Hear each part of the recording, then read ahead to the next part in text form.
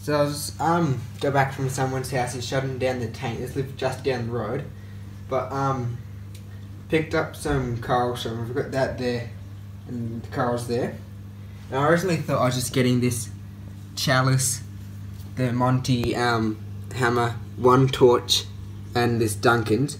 But he gave me some ricordias free, like a lot more torches, another and another frag of um uh Monti.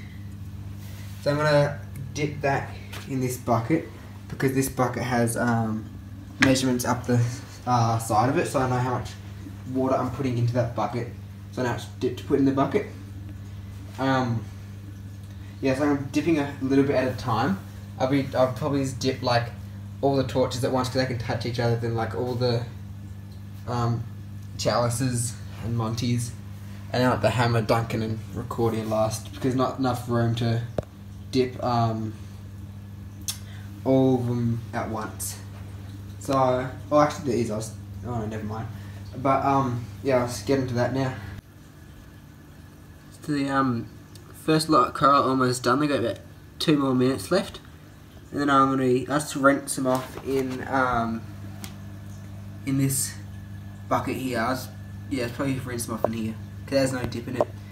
I think the corals are. I don't know if that's them trying to fight each other with all the slime, or that's them trying to protect themselves from when they're out of the water. But yes, let's be adding the corals into the tank shortly. So I managed to get um, all of the other bucket, the, all the corals in the other bucket into this bucket um, without them touching each other, which is good. And I've got the three large pieces in the tank.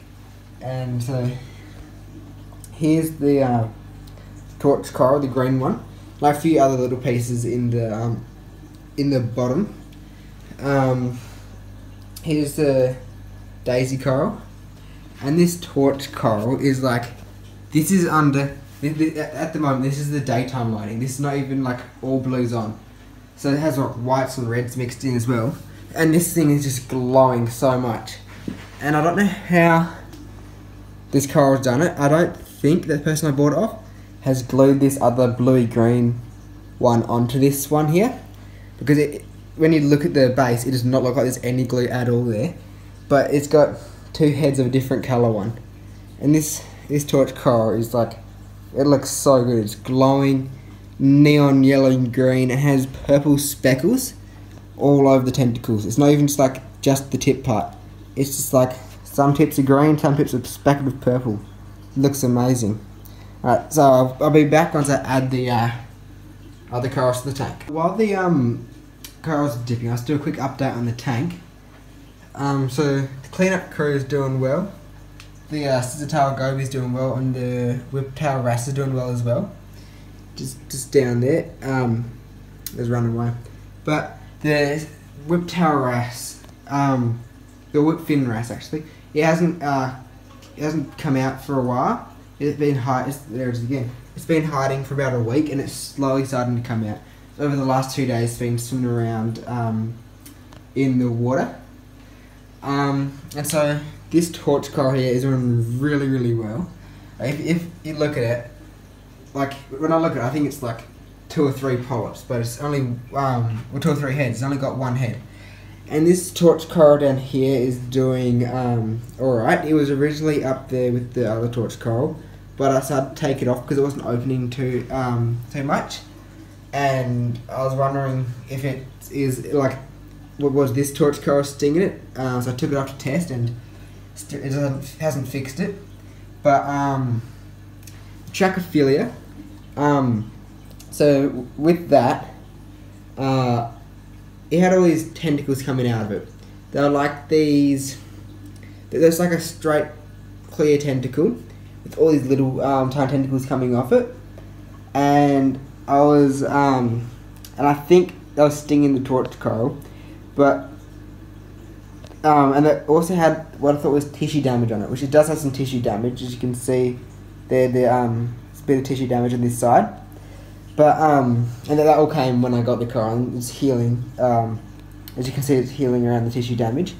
But I thought it had more tissue damage on it, but that was it was just covered in flatworms because I dipped it and about six big flatworms came off it, and about 10 smaller ones came off it.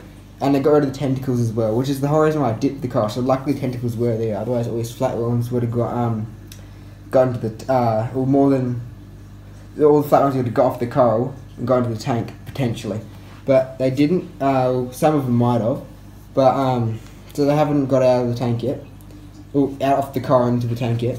But, um, yeah, in this torch coral again, to go back to it, I also re-dipped this as well to test if there's any um, flatworms on it, but nothing came off it. Um, so flatworms from the trachyphyllia aren't the problem with the um, torch coral. And this blasto is love and life. It's doing really, really well. Um, it's got all these baby heads around the edge, which they were there when I got them, but they've about doubled in size since I got the coral. And it's a bit odd because if you look at the heads, they have an orange outline with the blue center. But then this blaster here has, on the camera it looks red, but it's um, like an orange red outline with a green center. So it doesn't really make sense how that's um, working out. But yeah, other than that, the tank's running well. Um, yeah, well, other than the little torch coral, the tank's going well, and hopefully all these corals do well as um, as well. So I got all the corals in the tank, and I'm really happy with these corals, especially this um, here. So at the moment I've got them all on the sand, apart from this chalice which I've got up on the um, uh, rock, which I've got it there because I'm it's going to be um, little because no room on the sand um, left over. Also because I'm going to be uh, cutting that in half and giving half to uh, one of my friends. So, uh, Daisy coral is looking really good. Come around here, get a better look. But in this guy's tank, it was huge. It was about double the size it is at the moment. Um, and this Monti looks amazing in this tank. In his tank, it was um, not as neon green, but in this tank, it, it, you can't really see it on the camera too well. But it's like super neon green at the moment.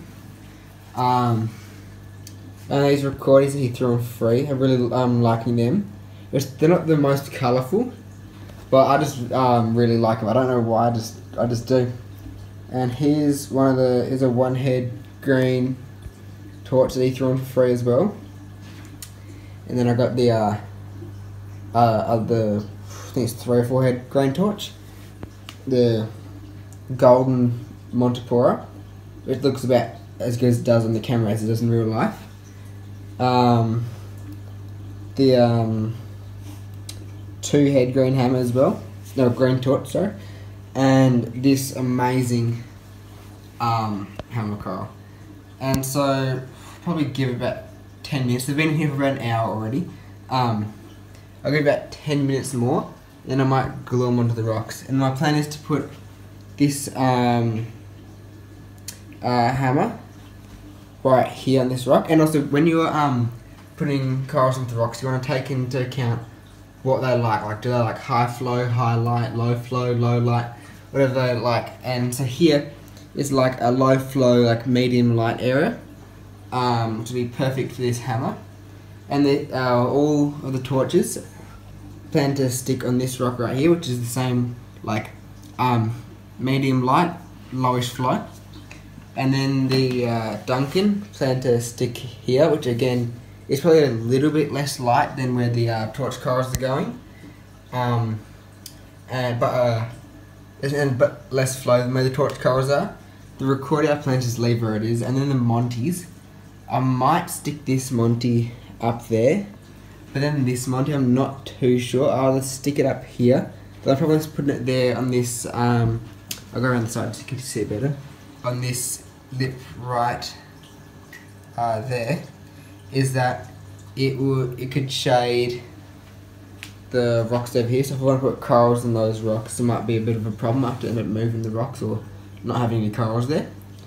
Um, if I can't put it, if I um, don't decide I'm not going to put it there, I might stick it to the back wall and try to grow a Montipora off the back wall. And yes, that's where I'm going to place the corals, unless the chalice is leave it is. I'm probably going to leave it there um, after I've fragged it anyway, or move up here.